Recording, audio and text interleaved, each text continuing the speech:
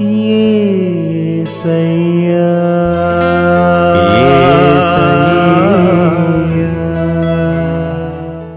హల్లెలూయా. దేవునికి స్తోత్రం. ఈ వాక్యం వింటున్న వారందరికీ యేసుప్రభు వారి నుండి ఆశీర్వాదం ఆరోగ్యం ఐశ్వర్యం సంతోషం సమాధానం నిరీక్షణ కలగాలని ప్రార్థిస్తూ సమస్త మహిమ ఘనత స్తోత్రం యేసుప్రభు వారికే చెల్లిస్తూ ఈరోజు మనం పరిశుద్ధ గ్రంథం నుండి తెస్సలోనికైలకు రాసిన మొదటి పత్రిక ఐదో అధ్యాయం పద్దెనిమిదవ వచనం చదువుకుని ధ్యానించుకుందాం. ప్రతి విషయమందును కృతజ్ఞతాస్థుతులు చెల్లించుడి. ఇలాగు చేయుట యేసుక్రీస్తునందు మీ విషయంలో దేవుని చిత్తము. ప్రతి విషయం నందు కృతజ్ఞతాస్థుతులు చెల్లించుడి. ఇలా చేయటం దేవుని చిత్తం అని వాక్యం సెలవిస్తోంది. కష్టమైన నష్టమైన అనారోగ్యమైన అన్నీ పోగొట్టుకుని ఏమీ లేని స్థితిలో ఉన్న ఆ స్థితిలోనే దేవుని స్థుతించమని తెలుపుచున్నారు దేవుడైన యేసు ప్రభువారు. దుఃఖము బాధ వేదన ఉన్నప్పుడు బాధతో అలా ఉండిపోతాం. దేవుడు ఎప్పుడు మనల్ని కనికరిస్తాడా అని. అలాంటి స్థితిలో స్థుతించడం కష్టమే.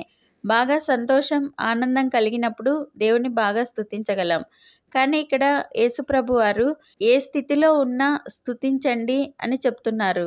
ఇది ఇంకా బాగా అర్థం కావడానికి ఉపమానం ద్వారా తెలుసుకుందాం.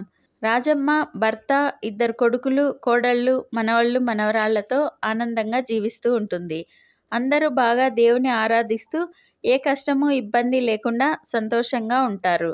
ఒకసారి రాజమ్మకు ఆరోగ్యం బాగలేక డాక్టర్కు చూపించుకోవటంతో డాక్టర్స్ అన్ని టెస్టులు చేసి రాజమ్మకు క్యాన్సర్ అని చెప్తారు. దాంతో ఆమెతో పాటు కుటుంబం అంతా బాధతో కృంగిపోతారు. మందిరానికి వెళ్ళి దైవజనునికి చెప్పి ప్రార్థన చేయించుకుంటారు. ఆయన ప్రార్థన చేసి కృంగిపోకండి.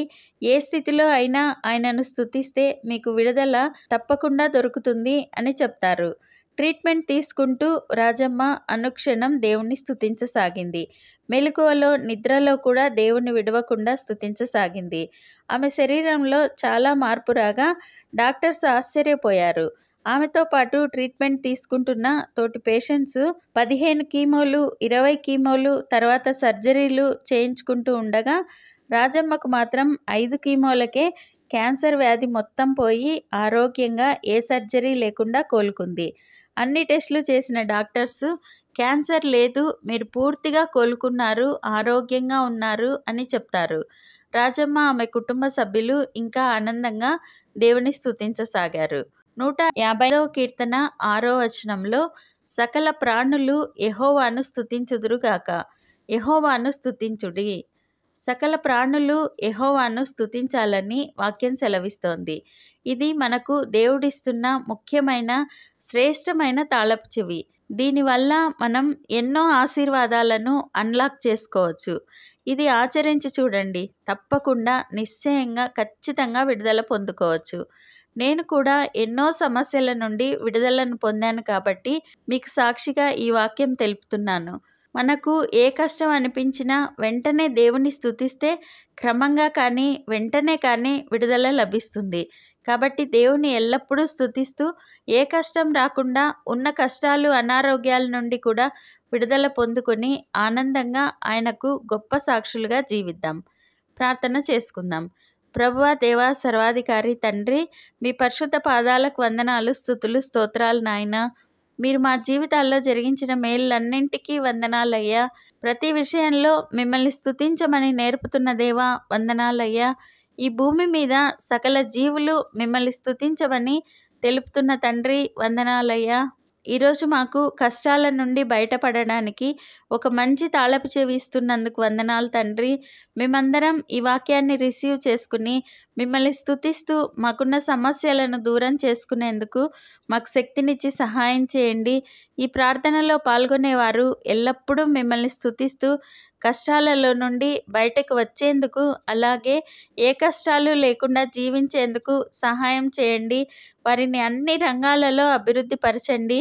వ్యాధి లేమి వారి కుటుంబాల్లో నుండి తీసివేసి స్వస్థత సమృద్ధిని దయచేయండి. కథలని నిలకడగల ఆర్థిక సమృద్ధిని వారికి దయచేయండి.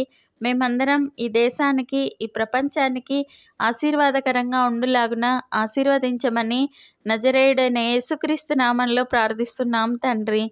ఆమెన్. ప్రతిరోజు మీ కామెంట్స్ చూస్తున్నాము. మీకోసం కూడా రోజు ముమ్మారు ప్రార్థిస్తున్నాము. భయపడకండి దిగులు పడకండి కృంగిపోకండి. యేసుప్రభు వారు తప్పక విడుదలనిస్తారు.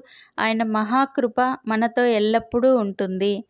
Amen thank you Jesus God bless you మేము మా ఛానల్లో అందించిన ఇతర వీడియోలను కూడా తప్పకుండా చూసి మీ మిత్రులకు షేర్ చేయగలరు. ఇప్పటి వరకు మా ఛానల్ సబ్స్క్రైబ్ చేయకుంటే వెంటనే సబ్స్క్రైబ్ చేసి కొత్త వీడియోల నోటిఫికేషన్స్ కోసం సబ్స్క్రైబ్ బటన్ పక్కనే ఉన్న బెల్ గుర్తును క్లిక్ చేయండి. అందరికీ వందనాలు. తనకు వచ్చిన కళల సారాంశాన్ని దానియాలు వివరించినప్పుడు షడ్రకు మిషకు అభిజ్ఞగోలను దేవుడు అగ్నిగుండంలో నుండి కాపాడిన సందర్భాల్లో కూడా దేవుని స్తుతించి అంగీకరించిన అది తాత్కాలికంగానే జరిగింది. వాస్తవానికి యోషిలమును గురించి యూదులను గురించి ఆనాటి పరిస్థితులను గురించి ప్రపంచ చరిత్రలో తిరుగులేని సాక్ష్యంగా నిలబెట్టడానికే దేవుడు నెబుకద్నేజరను వాడుకున్నాడు.